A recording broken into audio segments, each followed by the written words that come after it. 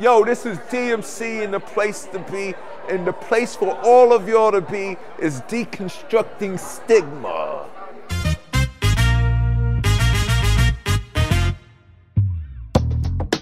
Welcome to Mindful Things. I'm your host, Trevor Chamberlain. The Mindful Things podcast is brought to you by the Deconstructing Stigma team at McLean Hospital. Help us change attitudes about mental health by visiting deconstructingstigma.org. Well, hello. Welcome back, regular listeners. Oh, yeah, I recognize you. Hey, how's it going? How are you? How's your dad? Doing well? I've never met you before. You're a new listener? Hi, how are you? Yeah. Yeah, it's cold. It's cold. it's brutal. Well, hope you enjoyed the podcast. Welcome. Welcome to Mindful Things. For our regular listeners and our new listeners, thank you very much for joining us on this podcast journey. A little update about me, no update this week. We're going to get right into the interview because, well, let me just break it down real quick. This interview is with an individual who goes by the name of Randall Liberty. Let me uh, give you a bit of background on him. Randall Liberty is a participant in our Deconstructing Stigma campaign and commissioner of the Maine Department of Corrections. At the time when I interviewed him, he was the warden of the Maine State Prison for Men. Randall talks candidly about living with PTSD and how it puts him in a unique position to help others. And Randall Liberty definitely speaks candidly. This interview is really intense. Uh, we did it on the road, so we used a different recorder. It's going to sound a little different. And it was in a room with a fair amount of people, so you're going to hear some questions from uh, other people that were in the room. A bit of warning again, this is some really intense material.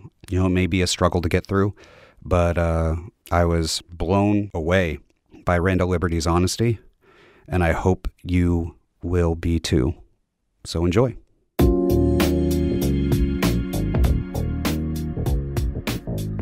You're going to write during this interview? You're going to take notes? If I have a mental, yep. It's emotional, it's not mental. Oh, it'll be both. Yeah, yeah. Let's start there. Is that is there a dichotomy between the mental and the emotional, or do they exist in the same place for you? Uh, same place for me, I think. Yeah. I recognize the the impact of trauma. I, I I've been to a lot of counseling. I have done a bunch of research. I understand the uh, the whole phenomena. You know, I get it, but it's still it's um, deeply emotional for me. I was never hospitalized inpatient, but I did the outpatient program at McLean a few times, and the thing that they keep having to hammer home for me, and still to this day, is that I need to change the way I think in order to change the way I feel, and not the other way around. I'm used to doing it the other way around, and it never works. Do you So- feel that connection? Yeah, so for me, it was um, my treatment was uh, was outpatient also, and I did uh, prolonged exposure therapy and in vivo, and and uh, specifically for wartime stuff, and um, um, I found that to be very effective. It worked well, and um, I did that for about 16 weeks. Every Tuesday, I'd go at one o'clock, and I'd do everything I could to avoid that because it's painful. It's wartime, like I said, it's wartime stuff, and I I had been um, back for a couple of years. And I tried to manage that myself, but um, my symptoms really were uh, uh, quick to emotion, and um, and then um, quick to anger, and um, none of those, neither one of those traits really with me prior to, to deploying. And um, every once in a while, still today, uh, around Veterans Day or Memorial Day, if, if I'm engaged in a lot of veterans-oriented uh, events, public speaking events, or, or uh, with other veterans, it kind of reopens that uh, that folder, and it can be difficult. And the wife, you know, says, uh, "You need to go get a tune-up," and uh, I haven't, but it, you know, it sort of subsides uh, over time, and and uh, once we're kind of away from the veteran stuff. I like what you said about quick to emotion. It's a problem I have too. How did you express that? Um, so I wasn't, uh, uh, you know, I wasn't quick to emotion prior to my deployment in Iraq, but um, um, now it was, um, now it is. You know, when I, even now, just opening the folder now, kind of, uh, it's just difficult, and it's just a, it's kind of a deep sadness or uh, recognition of, of uh, maybe sacrifice of, of some of the guys, not only mine, but um, you know, guys historically that have that have uh, served. It's just a, it's an emotion. It's a deep sorrow, kind of a sadness. Um, I think it's because uh, when you witness, witness it firsthand, you know, it's not it's not abstract for me. It's a, it's not something. It's not a movie. It's not a it's not something I you know I just uh, lightly witnessed. I, I, I I experienced it you know firsthand, and for me it was uh, um, primarily 18, 19 year old Marines, and um, you know it's difficult. You know the the dying that happens in in uh, combat is much different from movies. There's a lot of a lot of crying, a lot of a lot of uh, moaning, a lot of you know calling out for your mother, a lot of um, um, it's very difficult, and you, are trying to save somebody that you deeply care about, and uh, the emotion, the relationships you build in combat are um, unmatched to anything I've ever experienced. It's a uh, it's a deep love. People that I love, especially my mother. Now I'm getting worked up too. Good. I carry their pain mm-hmm. with me. Why do you do it? Because I can tell you're carrying not just yours, but a lot of other people's pain. Why do you do that to yourself? Um, I think that uh, it, it's the burden of leadership. I think that um, in the military in particular, um, but I'm no leader, so what's my excuse? I don't know. I can only speak to my experience, but uh, my burden was was uh, deploying my soldiers and uh, with the implied uh, promise that I'd bring them all home and then um, and then leading the Iraqi soldiers. You know, I had uh, 772 Iraqi soldiers, and and um, and uh, the reality of infantry operations, offensive and defensive operations, is, is people don't come home. And um, when you lose people, um, you feel that burden. That could you have trained harder? Could you have planned better? Could you have, uh, you know, could you have obtained better weapon systems and, you know, equipment for these troops? Would that have made a difference? You have to make calls that result sometimes in, in, uh, in their deaths. And uh, the, then there's the other piece of killing other individuals. And so, you know, when we rolled into Iraq, um, I'd been in the Army at that time 23 years, but um, and I was very exposed to, to death and dying. And I'd been in I've been in law enforcement corrections now 20, 36 years, and at the time, you know, 20 plus years. And and um, but I'd never been exposed to the violence of war um, the raw violence of war, where where people are uh, daily uh, trying to kill each other, and um, and uh, the reality is, is was is my experience was when we when you kill the enemy, you know the army does a good job of of uh, dehumanizing uh, the enemy. we always have. And um, every, I think every generation of warrior calls the enemy some sort of name, and ours was Mooj. We called him Mooj, and uh, um, and but the reality is when you when you kill some of those enemy, and then you roll down and and um, search the bodies and you pull the wallet and there there there there children as pictures and wife's pictures and the reality is where they are fighting and the reason he's fighting and trying to kill me is because I'm an infidel in his country and he wants me out. So it's a much more complex than just killing the bad guy from a distance. You know, when for me in an urban environment when you when you're fighting, it's up close and personal and. Um, yeah, I think it leaves some emotional scars, and and um, you know we did a lot we did a lot of killing, and my guys were killed, and I think that's a, that's where I am today emotionally. You said something earlier, a phrase, something about the raw expression of violence or raw violence. You said that about a minute ago. Yeah. What is that raw violence? Um, you know, so the Army, America is very good at waging war, and and um, we have a lot of weapons at our at our um, um disposal, and so the damage that a 50 cal um, machine gun does. You know, that round fires 3,000 yards, and when you're fighting in an urban environment, you're kicking those rounds off. They, those rounds don't stop until they hit something. You know, and uh, um, we also had uh, artillery from Camp Fallujah. We could drop artillery rounds on a dime, and um, yeah, we did a lot of damage with indirect and direct fire, and uh, it's just raw violence, killing the enemy with any means necessary, and and uh, it's just very violent. And um, the other thing that weighs on soldiers is the unintended deaths and the unintended consequences of, of waging war in an urban environment where unattended people, um, you know, they get killed. And some of the operations uh, might be, you know, receiving uh, sniper fire from a rooftop. And um, one of the methods we use is we maneuver a squad. Five guys lay down suppressive fire on the house, and another team uh, maneuvers or you can roll a tank in and put a round in the house and, and soften the target before you go in. Well, the problem is, is if there's a sniper on the rooftop, by the time you've maneuvered all those assets, um, 20 minutes later, the sniper's gone, but the residents of the home is still there. And so sometimes, um, you know, good people, unintended people get killed, and that's a, that's a burden. How many directions is your brain going at any given time? Yeah, um, I'm on hyperdrive sometimes, and, and uh, the um, one of the I think one of the coping mechanisms for any of the trauma I've uh, um, been involved with is uh, stay busy, stay just rocking busy all the time, and and um, I still do that. But isn't that also a way of not allowing yourself to emotionally process a situation, or is it a way of maybe just putting it on the shelf for now because I've got this situation that I need to take care of, and I'll get to that later. Yeah, I think it's very common with a lot of folks. I think that uh, the Vietnam vet, vets are experiencing that now, where they, they came home from Vietnam, um, had families, worked a bunch of overtime, stayed busy, and, and uh, now when they retire in their 60s, um, they have time to pause and reflect. And I think that, that has been a, a, difficult time for them to when you're not busy. And so I, I stay busy. I st- I'm, I'm rocking, whether I'm on duty, off duty and um, um, that works for me. What if you stop rocking? What happens? I don't know. I don't. I don't stop rocking. You know. So I just I just stay busy. And are, are um, you afraid of stopping? I'm not afraid, um, but um, I you know I don't like to dwell on it. You know. Um, you know, unfortunately, I, I made. Uh, you know, my family of origin was was uh, you know struggled, and there's a lot of domestic violence there, and a lot of alcoholism and broken homes and all that stuff, and poverty, and and uh, and then I joined the army and, and I did the law enforcement thing. So um, all of those things produced environments where, um, you know, trauma was the result. And, and, in the law enforcement, I did a whole bunch of, of death notifications and I was a rescue diver for 15 years and I, I pulled a bunch of bodies in lakes, rivers, and streams over the years. How many bodies? 19.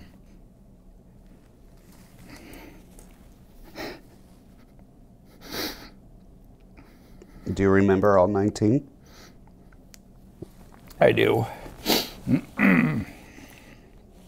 and, uh, you know, those would be. Uh,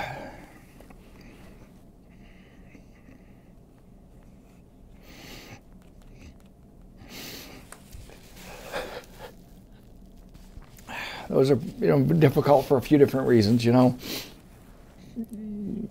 I'd be patrolling I'd get a call, you know, um, drowning victim, drowning in progress, whatever, and I'd have my dive equipment in my my uh, trunk, and I'd I'd have 50, 10 or 15 guys that were certified with me, and we'd scream to the scene, and you know, often there'd be a mother on the bank screaming, "Save my children!" and uh, um, get out of the vehicle quickly. Um, pull your vest off. Sometimes leave your uniform on, throw your BC and tank on, and and uh, away you go. And you know, 80 feet of water pole, 18, 19 year old kid. The last one I, I, pulled was 19.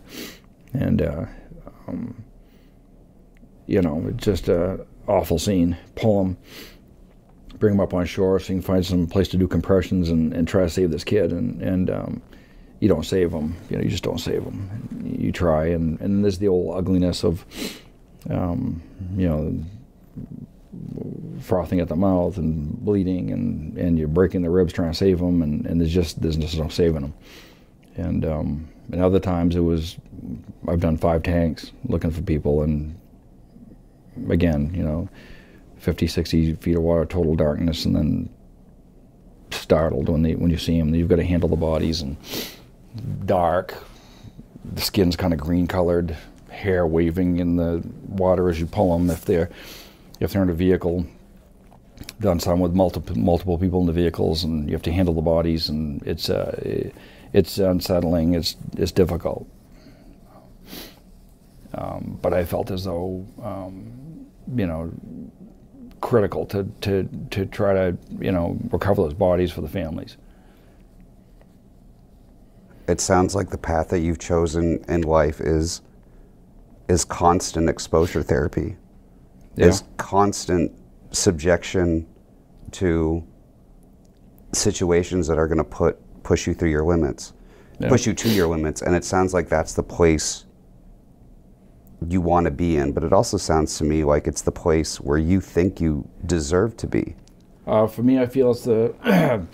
um, you know, I'm the I'm I'm very willing to to grab a rifle. I'm very willing to grab a tank and, and dive. I'm very willing to um, I think when I was sheriff and I was chief and I was staff sergeant and there was a death notification, I felt it was very important um, to go leave the scene and go to the home and talk to the 55 year old parent um, and help them through that. Um, I didn't think that it was appropriate that a 20 year old young deputy who may still live at home um, deliver that um, message. I thought that those were all important things to do, and I still think they're important things to do. I just think that there's a. Um, But why um, do you have to do them? I get why they're important, but why Yeah. do you have to do them? um, I guess I feel like for me it's just a reality check that you know as a society when we decide to do something like go to war, or when there's an unmet need like retrieving victims, um, drowning victims, or doing do- death notifications, um, you know somebody needs to do that, and I think I, I was I am well equipped to do all those things, but I just feel as though I know that there's a there's a burden as a result of those things, and I'm willing to accept that. It's just the for me, it's just the way it is. I um, I'm okay. I have some demons, and um, I'm okay. Um, when I open that folder though, and, and I see those bodies, whether it be in combat or diving or many many suicide victims, um, all of those things, uh, fatal accidents. That's the nature of the business I'm in as an infantryman or as a law enforcement officer or as a corrections officer. Um, we know that going into it, and, and I'm willing to accept that um, as a, um, as a reality in those professions. Warden, I'm not trying to put you through something difficult, but I'm just trying to find the emotional process when retrieving a body. Yep. The moment you show up on scene to the moment that you go in, where do you where do you put yourself emotionally to get through that situation? Yep, it's just like um, it's like in combat. Um, when, when I was in Fallujah, I only only broke down one time, and because I was a sergeant major, I don't have the I don't have the, the, the liberty to, to be emotional, to, to cry, to to show any weakness. Um, an infantry sergeant major has to be follow me, boys. We're good to go. And um, um, we had uh, um, we worked with Charlie One Three Marine Corps Company, who was about uh, 300 meters away from us in the city. They were in one schoolhouse, we're in the other, and we fought together for about six weeks. And um, um, in in January, when things slowed down, um, the Marines pulled out, and um, we covered down on their battle space, and and uh, they took off. And Dustin Shumney was the lieutenant that I hung out with the most on patrols, and and their chopper was shot down. 24 guys were killed all 18, 19, 20 year old kids. And, and uh, Dustin Shumney was probably 27. He was the adult supervision really there as lieutenant. And um, um, I, um, the way it worked in the city is my 10 man American team had had 100 and, had 150 minutes on our satellite phone to call our families, and so that meant we had each each of the guys had 15 minutes to call, and if the first guy used 20 minutes, the last guy got 10 minutes, 10. right? And so that's what we had for on a card. And um, I called my brother that day after they were they, they were killed and the chopper was shot down, and and um, um, you know he's a retired uh, E7 um, Sergeant First Class Infantryman, and and um, I caught him. He was southbound 95, drinking a latte and listening to BLM, heading to work. And it was really, you know, it was so obvious to me that um, you know the Army's at war and, and America's at the mall. And um, hey, how you doing? Really good. I, I, I, I- told him the story, and he said, "That was your guys." I said, "Yep." And you know, I broke down, and and um, but it was just so stark to me that the America wasn't engaged really. It's those people that are that are fighting, right? Um, but once that conversation was over, wiped my eyes and turned it off, and let's go get them. And, and uh, that was the same with with um, any of the fatal accidents, any of the diving incidents. Until the event was over, like I'd pull up at a dive scene, pop my trunk, put my stuff on, and and jump in the river.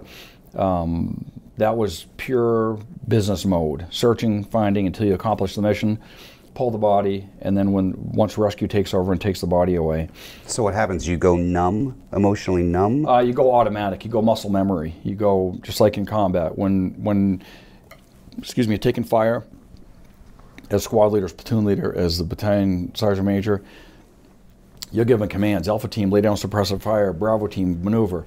You just it becomes muscle memory with all of that stuff. But um, the difference in the army is uh, is we never really sat down, processed it. Um, how do you feel about that firefight? We don't do any of that. We just suck it up and keep fighting.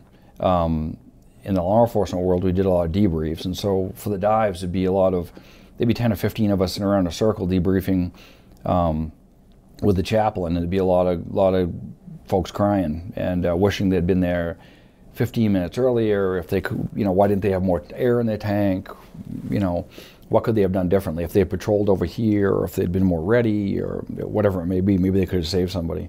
So there's a lot of regret sort of that way, which was unfounded for the most part. But uh, yeah, to answer your question, most of the stuff that, that I've done operationally, uh, muscle memory, do the mission, and then um, when we came back from Iraq, the, then it was, you know, when we were back here, and we came, everyone returned home, and the game was over. That's when it was um, became more emotional, more able to contemplate and process all that happened, and that's when you really started to feel the deep sorrow and you know all of that.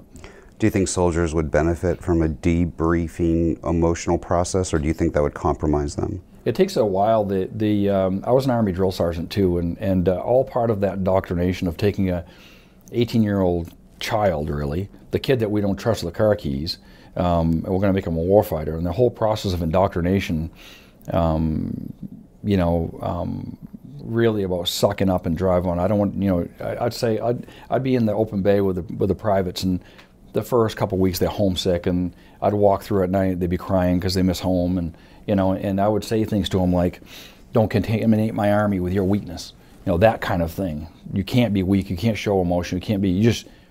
Um, Are emotions weakness? Yeah, I think that in the Army, in that environment, yeah. they are. Um, so um, it's all about, you know, mission first. That's what the Army says: mission first, get the job done first. And um, and and you can't do that if in that environment you have to shut it off because there's so much violence, there's so much killing, there's so much of that happening that you have to put on this armor of of uh, bravado, sort of, and and and mean it. I mean, uh, you have to be the. Um, my mentality when I was over there, I'm the baddest dude in the valley. You want some? Come get it. Has your ar- armor of bravado ever been shaken? Um, you know, only when I when I pause and I open the folders and I start doing that. Um, no, I, you know, the, the Iraqi soldiers there called me the the, the um, probably the best compliment I ever got. Uh, um, that I've ever received was uh, in the Arabic world. They uh, yeah they call you by your name um, until you have a, a son.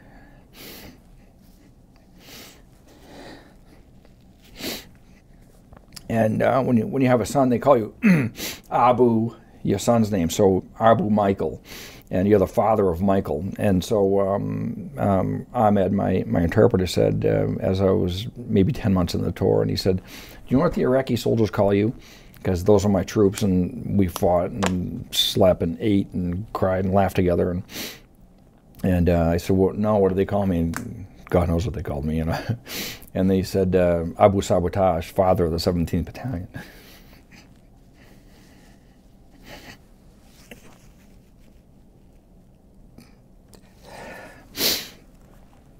Which to me was was a huge compliment because it, it, felt like they know that I cared about them and, and they cared about me and uh, we were doing what we had to do and we did our missions and I laid it out there for them. They did for me and it just we had each other's backs and um, that's the way I wanted. I didn't want to be um, um, a robot, just uh, you know, killing and, and all that. I want to be a leader to them. I want to be the guy that they could come to and they could count on, and they know I was there for them. So.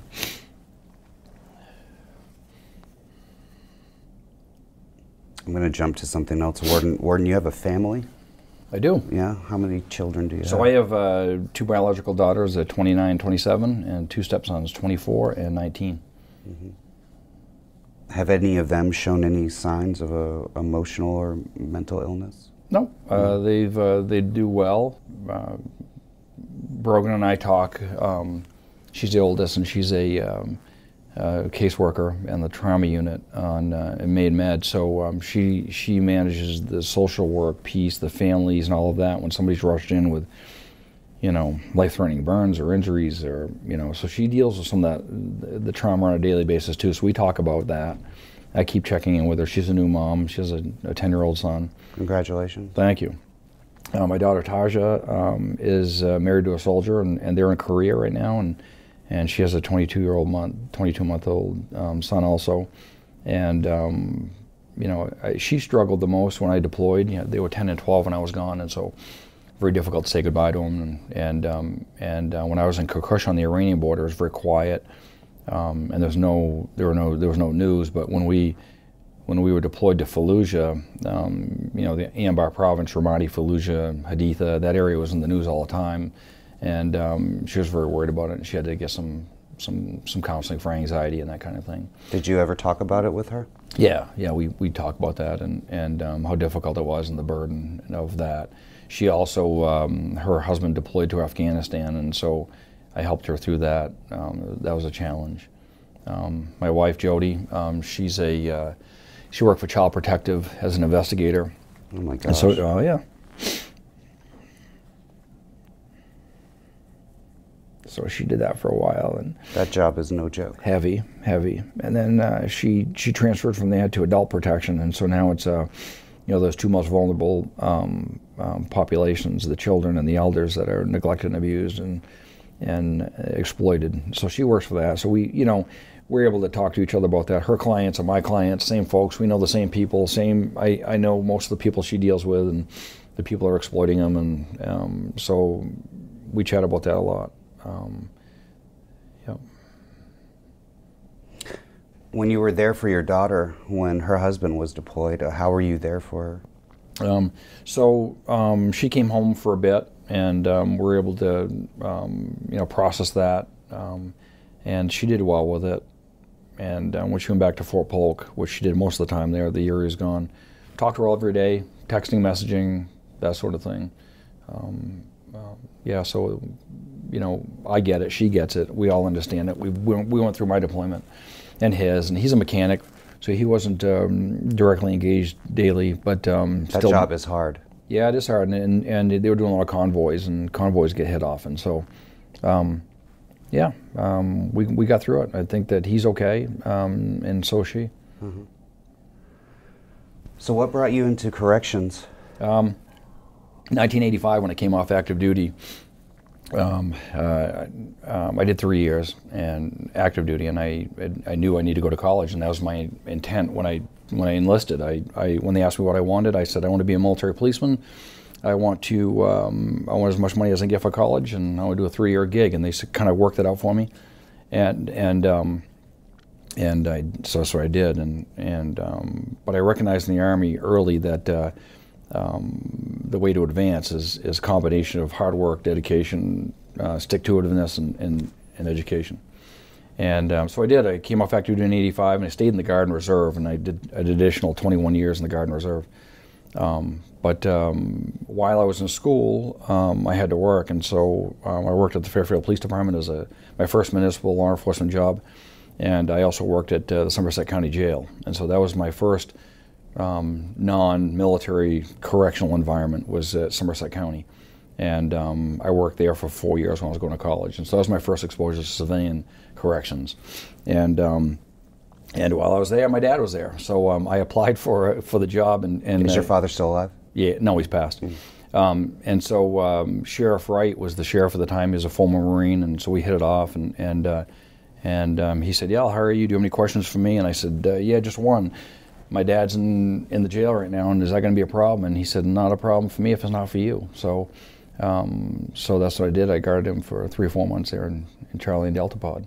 Mm-hmm. Yeah. Do you have an official diagnosis? Uh, post-traumatic stress. Mm-hmm. Yeah. How does PTSD manifest itself in this job being the warden of the Maine State Prison? Uh, it's beneficial in that this industry has a lot of folks that are impaired with um, post-traumatic stress.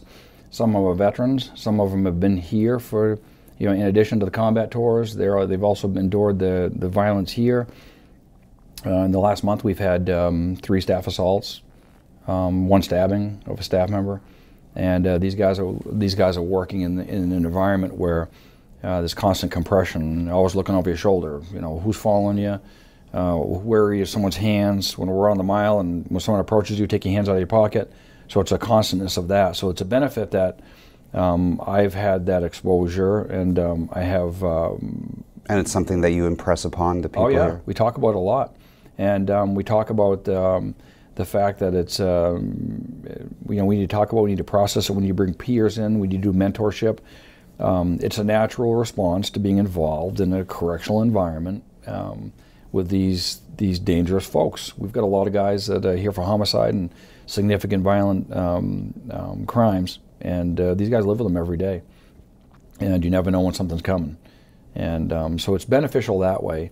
Um, as far as um, um, how I don't think that uh, it impairs me at all. I uh, I'm involved in everything I get my hands on, you know. So if anything's going on, I want to be involved.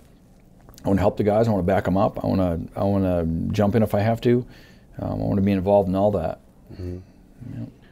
Do you think you being so open with your history, your past, and what you suffer with helps? I hope so. Yeah, yeah. And I wouldn't say suffer. Really, you no, wouldn't say suffer? I'm, I'm, I'm My good. gosh, I'm, I'm like, good. I'm ten. I'm ten percent no, of the man no, that you are. No, no, no. I'm not. I don't. Um, I'm okay. You know what I mean? I'm all right. I um, um, when I open some folders, I get emotional, but I um, function very well um, I'm good in, in, in, my off time and, and professionally. I, I do well. I'm okay. I'm not looking at you suspiciously. I'm just in awe of this. I don't know about awe, but I'm telling you, I, I am I am good. I need some of what you have. Can you put it in a glass and I don't know, but I, you know, I'm all right. Yeah. Um, you know, I'm, I'm okay. I uh-huh. enjoy this job. I enjoy leading. I enjoy being involved in the um, in the industry. I'm good. It feeds me. Explain that. Um, you know, I need to be. Um, I what I do. Um, do you need to be on that edge at all times? Is that um, your I don't comfort know what edge, zone? But I mean, as far as um, I need to be um, doing something that has meaning and purpose. And I do understand that. Yeah, and, I, and that's one of the things I told my, my kids all the way through their childhood and, and adolescence. I tell them that today. that is that I need and they need. They should seek out things that have meaning and um, and Brogan and Taj have both done that. Taj, my youngest daughter, is a nurse, and um, um, and they find meaning in that. My wife finds great meaning in the work she does. Um, it um, I, I can't I don't want to go to a job. I do not want to go to a job and, and earn a paycheck, and that's not that is not important to me. And so I feel like here in the correctional world, it's our duty to. I think guys arrive here because uh, they have mental illness, they have substance abuse issues, they have trauma they have learning disabilities. Um, any any combination of that um, describe them and us.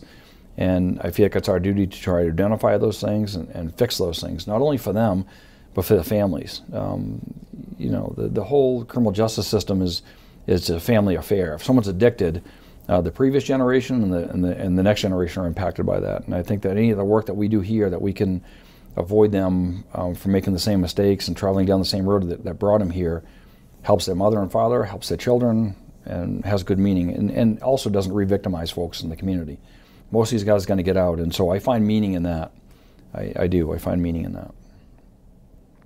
Can I just ask one question? Is, do you think it's a coincidence that your whole family ended up in some sort of service, like public service? Yeah, I don't know. There was always my mother. Um, you know, my mother dropped out of school in eighth grade, and she had um, my, my she was pregnant at the time, so she had Ron at, at 15 and a half, and and uh, me at uh, I think 17 and 19 and 22 and dad was in and out of jail and but anyways in the end she went back and, and picked up her GED and then she went on to to, to go to school and, and she became a um, um, consultant for young mothers and so she would travel with KVCAP um, to homes of young mothers and teach them how to be mothers because usually there was a break in the in the generational. You know, maybe Graham wasn't around, maybe Mom wasn't around, and right. how to nurse, how to care, how to deal with a colicky baby, and she had five children of her own, and so that was her thing, and so she felt like she was it was a perfect job for her, right? And she did that, you know. So a lot of us have done a lot of the public safety stuff. I have of my four brothers, uh, three of us in the army. Um, one was a combat medic, a paratrooper, and, and in fact. Uh, he got out, got off active duty, and did the same thing. Went to college, and he's a nurse practitioner. and He works here, and um, and then my brother Ron retired, 20 years service, and um, we laugh about my brother Ryan. He's the he's the only one that didn't go in, and and uh, we laugh with him, I should say. Um, all of us have had this this um, exposure to a lot of trauma in our careers, and and uh, he's in executive sales, you know, and he's he's a virgin to all this, Mm-hmm. really. You know, he's had no exposure to it, and it's, you know, And do you treat him differently because of it? Yeah, you know, he's a different guy. He- Yeah, he's a different guy. Well, no, he's great. He's a great guy, great father, and all that. But he's just uh, he is a different. It's a different world. Yeah. You know, um, when we talk, it's just different. You know, I talk about a stabbing that happened today, and he looks at me like, "What?" And uh, Like he, I, like I've been looking at you throughout yeah, this whole and interview. he scored a, a big account. Yeah. You know, And well done. You know, I, you know, I don't know, but for him, and, and he always talked to my daughters and to all the, the the nieces and nephews about don't do the teaching, social work, cop stuff. There's no money in that. Get into business. That's where the money is. And I'm like, what? Who cares where the money is? It's not about that. When it's all done, who cares? You know. And um, so we, we we always had that. And my mother was very much. Uh, you know, get into social work, teach, you know, to all the all the daughters and all the all the, her grandchildren. And they've all done that.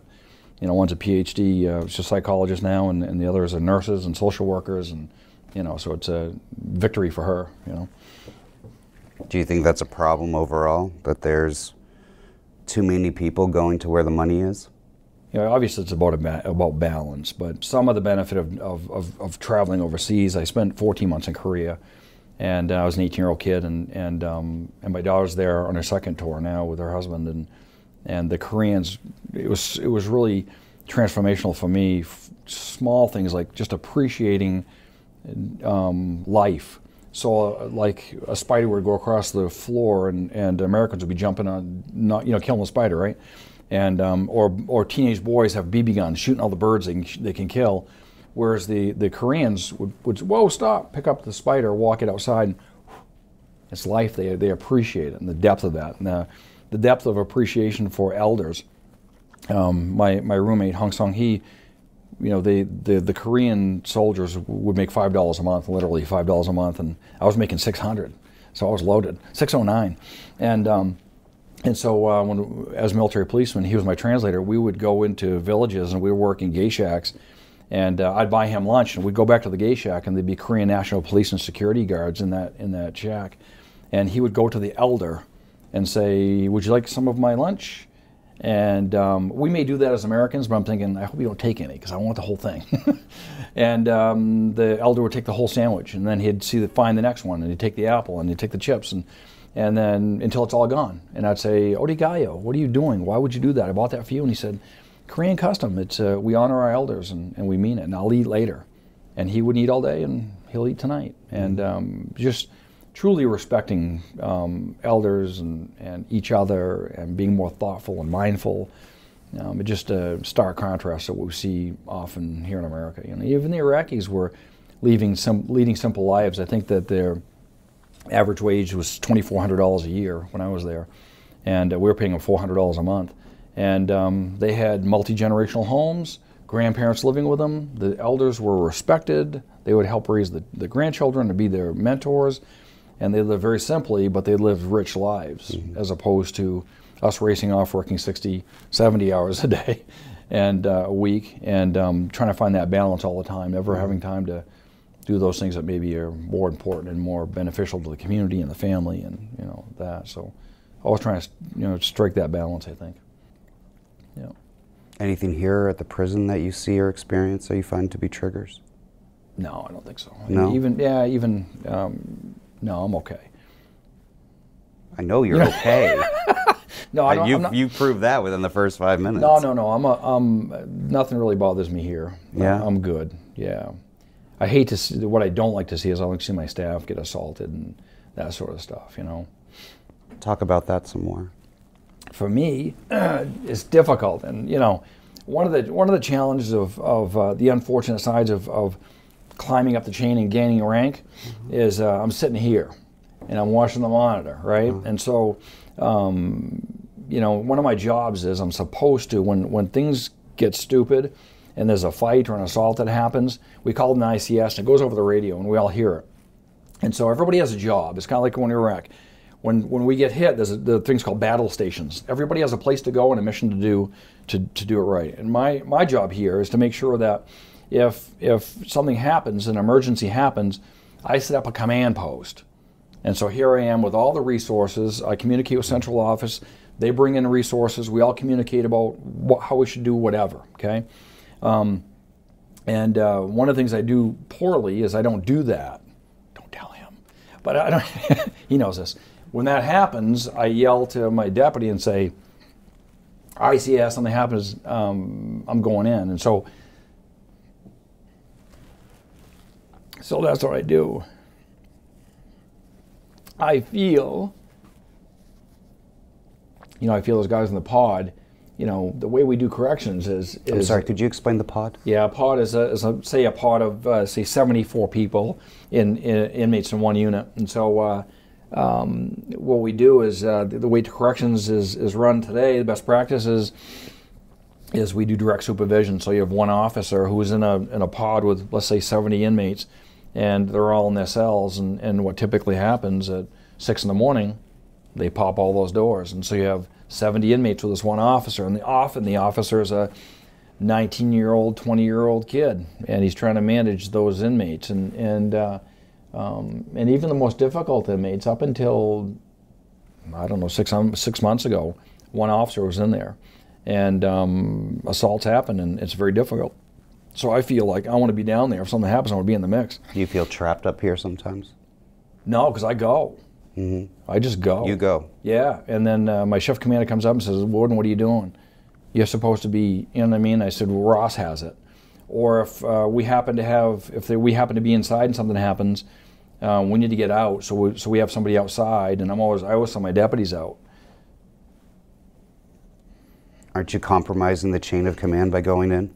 No, they can they can do this. They can manage this. You know what I mean? I'm telling you, you go in that. Um, everybody in this room will will know that um, it doesn't make any um, it, it doesn't make any sense to put a uh, you know one 20 year old kid with 70 the most difficult inmates in the state of Maine, uh, proven violent offenders, guys that committed suicide, uh, homicides. Some have committed multiple homicides, and so if the budget um, um, warranted it, um, we should have three or four people in there. We should have three or four people in there managing those inmates, and um, there's and it's not beyond best practice. That's what we do nationally. We throw a 20-year-old kid in there, and that's what happens. But that um, that doesn't mean that we'd want our son or daughter to be in there. You know. So why Um, isn't there more than one 20 year old kid in there? That's the way it is. That's that's that's the industry.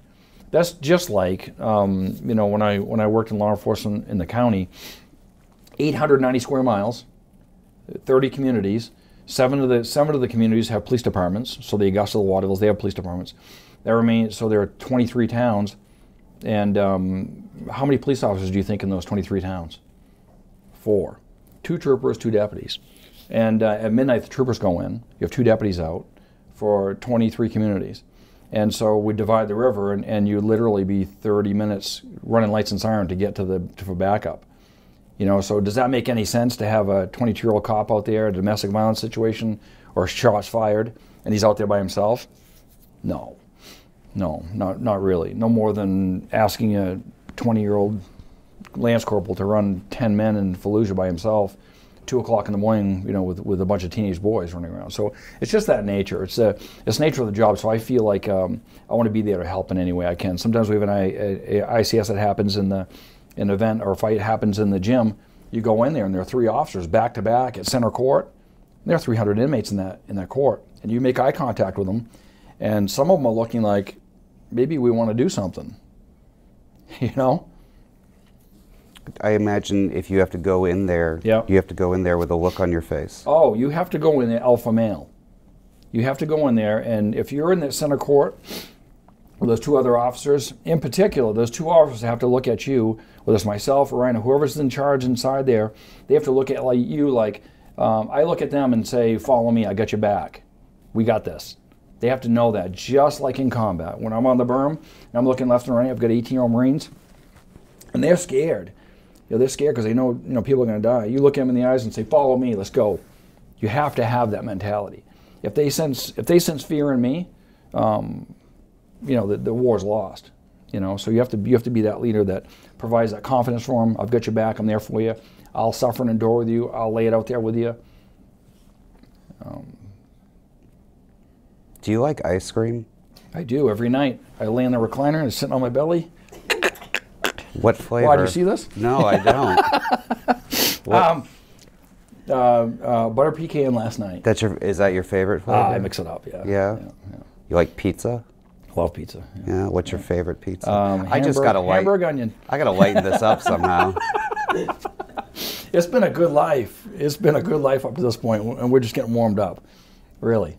so what's the future, Warden? We don't know. That's the big topic right now, No, no, no. What, what's the future for you, Warden? And I'm Um, not talking about job.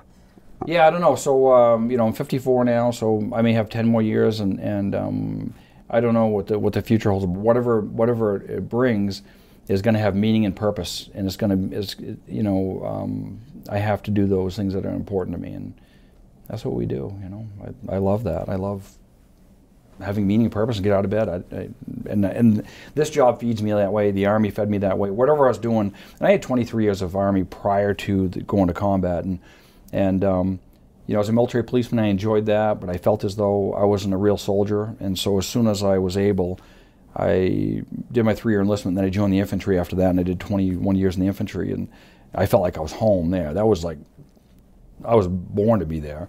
And then um, I was a drill sergeant for seven years, and that coaching, mentoring, being with those young children because they're, they're kids, they're 18 years old, and uh, you know, working with them uh, was great. And then I taught at West Point for three years, and those kids are super sharp kids, and um, really the the best America has to offer. And um, and then I did the year in Iraq. So it was all meaningful, purposeful. I had great assignments all the way through. Same in law enforcement. It was uh, whether I was diving or I did a lot of drug work. I felt a lot. There's a lot of meaning in that. Um, I did some programming in the jail for substance abuse, mental health for veterans that were incarcerated. That was meaningful to me.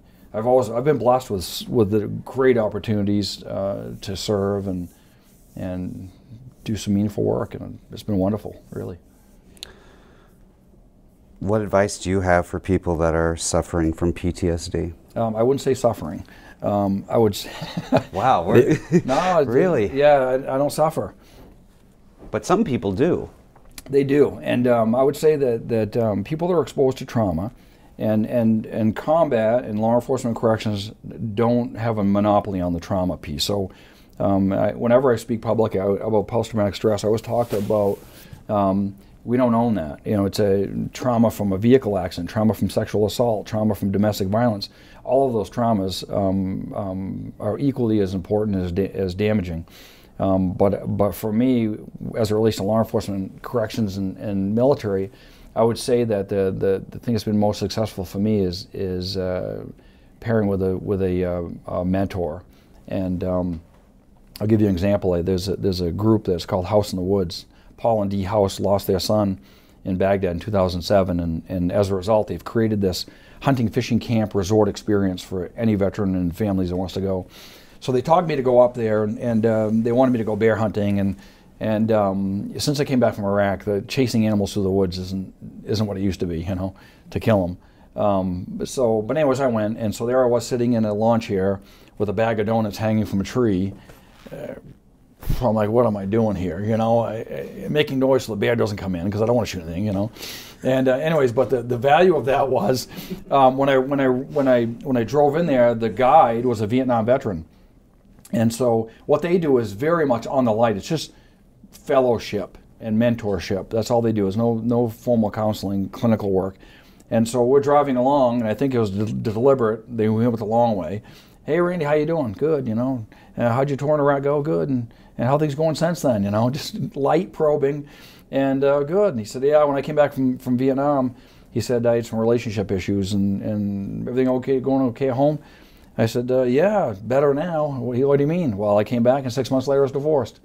Ding, ding, ding, ding. you know, and uh, uh, what about, uh, you know, and so we talked like that. And so he gave me his advice of the journey he traveled, and, and, and he, his advice to me was don't take 30 years to go get some help. Don't take 30 years to realize you have a drinking problem or you have a uh, anger problem or whatever the circumstance is.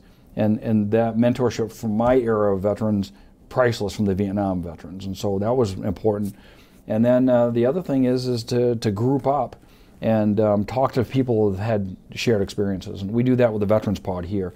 We have 51 veterans in, in one of the pods, and that's the Veterans Pod. And they have uh, shared experiences, same, same culture and language, and they understand each other. And, and they, Do you go talk with them? Yeah, I'm out there a lot. And so, um, and I show that off to anybody I can because I, I, I believe that when we send guys and gals off to war, uh, that uh, we have a duty to help them transition back. And sometimes that transition back is decades old and some guy, guys and gals come back um, lightly impaired, and and uh, they, you know, and don't forget, you know, someone going, someone deploying. There are various levels of deployment for me, and so it's like going to a Fenway, going to Fenway, right? You're familiar with Fenway? I am. Yeah. So uh, uh, you go to Fenway, and because you're there, you could be selling peanuts, you could be cleaning the urinals, or you could be the pitcher.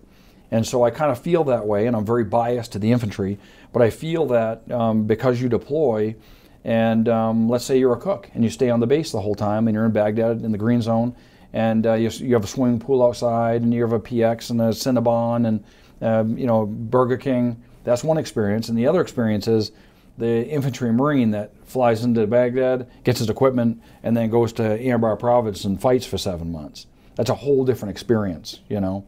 Um, and so not not all veterans have endured the same sort of burden of war. And uh, so it's important to remember that too.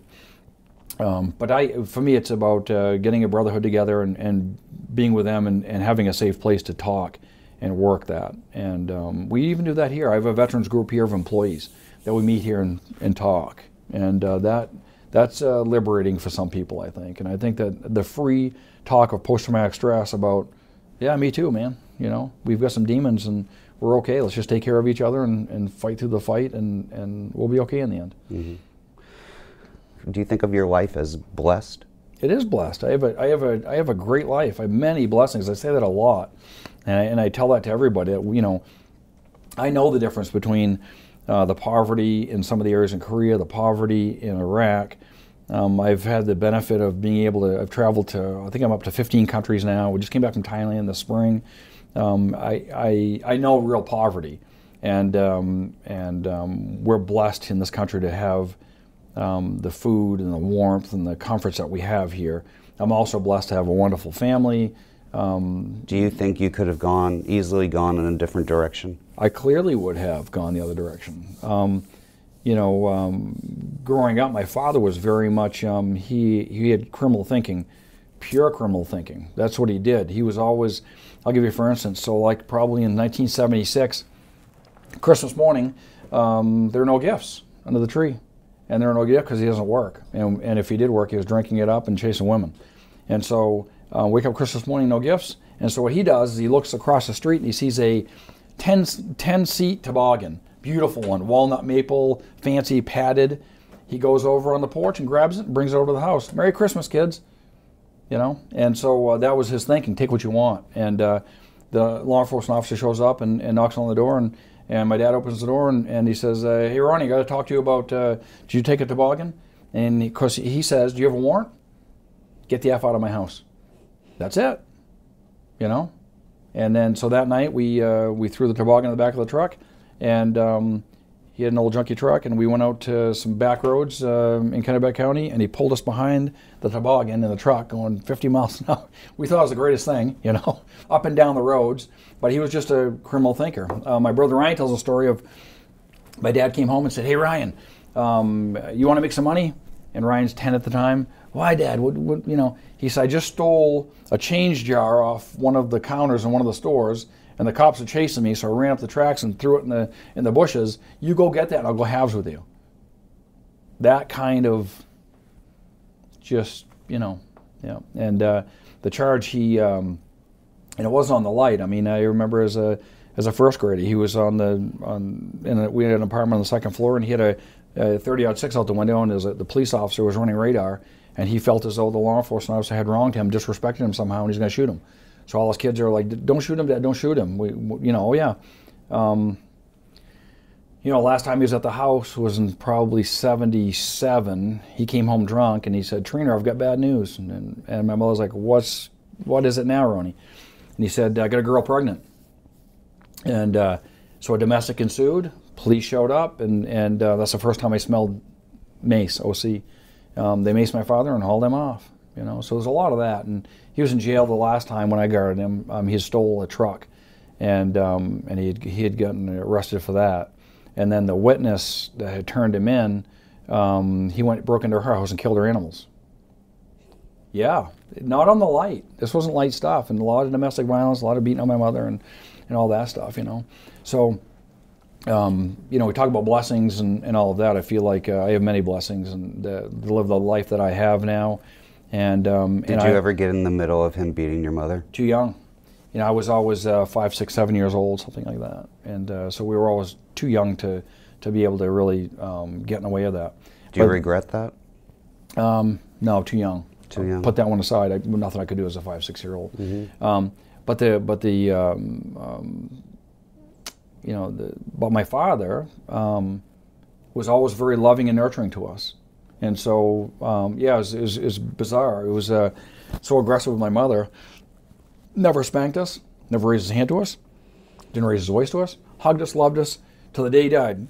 Give me a hug. Love you. Did his father beat his mother? Uh, a lot of you know we have multi generational mess, and so um, my uh, grandfather Romeo, I never met him, severe alcoholic, um, domestic violence in that home too. Ran off on his wife. Um, they had seven children. You know they lived in deep, deep poverty. Um, he died an alcoholic on the streets of Boston. Um, they went and retrieved his body, I think in 67, 68, something like that. Um, yes, there's a lot of multi generational dysfunction, alcoholism, broken homes. My mother's adopted. My grandfather was adopted. Did you make a decision that this insanity stops with me? Um, you know, for us, I don't think it was a conscious decision, but I think my brothers and I, um, we were fortunate to have um, um, coaches, um, football coaches, and um, um, track coaches, basketball coaches, and and um, along the way, these well-meaning, well-intentioned men. You know, as a young man, as a, as a teenager, as a, as a younger boy, I'd look at these guys and like, wow, look at the way he talks to his wife with respect, and he's articulate, and he has a job, and he's late for practice today because he had to work an overtime shift, and that's how real people live. And then um, we were fortunate to. Are brother- you ever late for a shift? No, I'll try to be the first one here. I'm sorry, continue. yeah, um, I leave my house 5:50 to get down here. I'm, I'm doing an hour and 15 down here.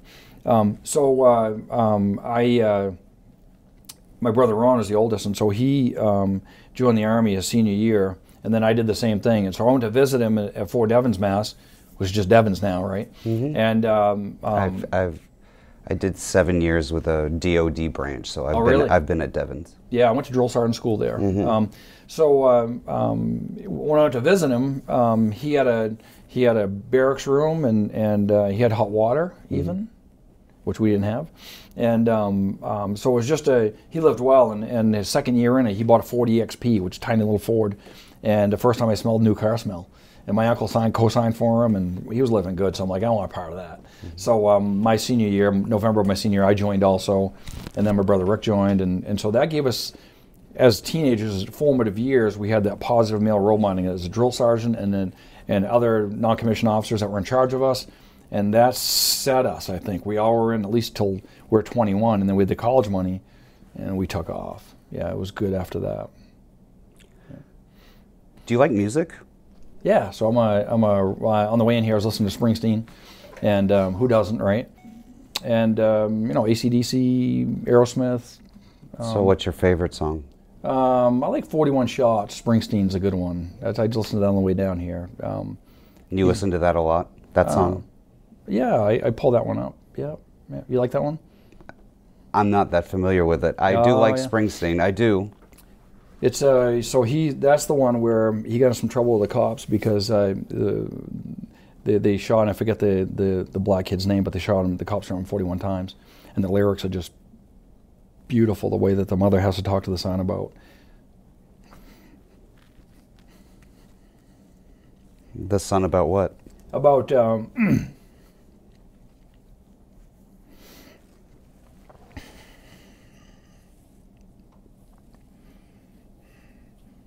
You did well with that one. it's about about law enforcement, you know, shooting a young black man unarmed, and he pulled up, and it's a wallet. Is it a gun? What is it? And um, and so the the mother talking to the son about if the stop if the cops stop you, don't run, be respectful, keep your hands up, that kind of thing. Pull that up, you'll you'll see what I mean. I will. Yeah, I it's, promise it's a good I one. It's a it's a good one. It's powerful. You know, I, I know this is meant for an audience, but I I needed to hear this. Thank you. That was a very intense interview. It was a struggle for everyone in the room, certainly me. I honestly can't find the words to describe what it was like meeting him and talking to Randall Liberty. He's like cut from stone. And then to see him break down over and over again, it was really intense. Maybe I'm speaking for myself. I don't I don't think so, but I know from suffering from depression when you hear somebody else who suffers from a mental illness talk about it and you hear about their history, I'm not saying that you size each other up, but there is a comparison process. It does make it easier to, to empathize and sympathize. I mean, I, I find it very easy for myself to connect with other people who suffer from mental illness. That said, sometimes when I hear their stories, I sometimes say to myself, well, what's your problem? You know, you didn't experience that. What you went through was nothing compared to what this person went through. And it's a terrible way to think. And if anybody out there thinks that way, I'd recommend to try and not to invalidate or belittle your experience. We all suffer in our own way. That's just how it is. My experiences are mine, yours are yours. And we've all been given different tools to deal with those situations. So if you're suffering out there and you listen to Warden Liberty's story and it actually makes you feel worse about your own experiences, I, I'd recommend that you talk to somebody about that. Because um, to be depressed and then to invalidate your depression, um, man, that can lead to a, a really, really dark place really fast. It's one thing to suffer and to take care of yourself, and then there's another thing to suffer and then feel like you're not worthy of help or assistance just because you feel that what you went through is nothing compared to what somebody else went through. That's a tough way to live. And uh, I've done it a few times, and I just don't recommend doing that at all. Find somebody to talk to. Okay, give me some feedback. I'd like to hear some feedback. Let me know what you think of this pod. Yeah, this is an intense one. Let me know what you think. We'll be back in two weeks. In that time, I'm to have my kitty back with me. Maybe I'll bring her on the, the podcast. I'm sure she has a lot to say. Like, shut up and let me sleep. Or feed me and then leave me alone. You know, that's usually standard protocol with a cat, but hey, I love it. See you guys in two weeks. Thank you for listening to Mindful Things, the official podcast of McLean Hospital. Please subscribe to us and rate us on iTunes or wherever you listen to podcasts. If you have any suggestions for special topics or future guests, email us at mindfulthings at mclean.org. And don't forget, mental health is everyone's responsibility. If you or a loved one are in crisis, the Samaritans are available 24 hours a day at 877 870 4673. Again, that's 877 870 4673.